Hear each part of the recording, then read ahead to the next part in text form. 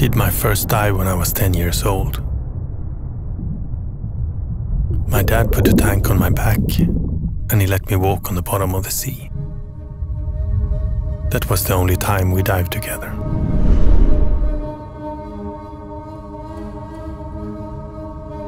I spent a lot of time in his workshop, watched him create his own equipment.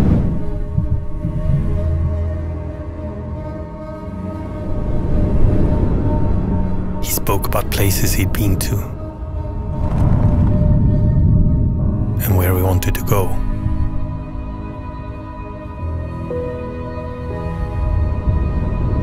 I started to dream about these places.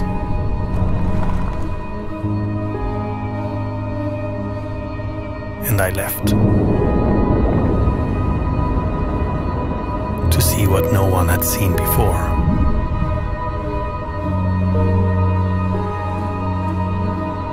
Capture it.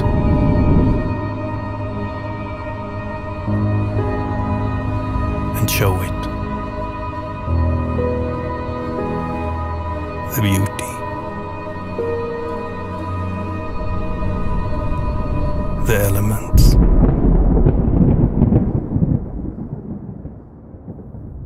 The unknown.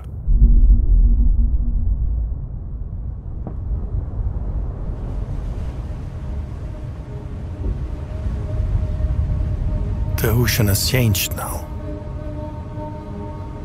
Since back then.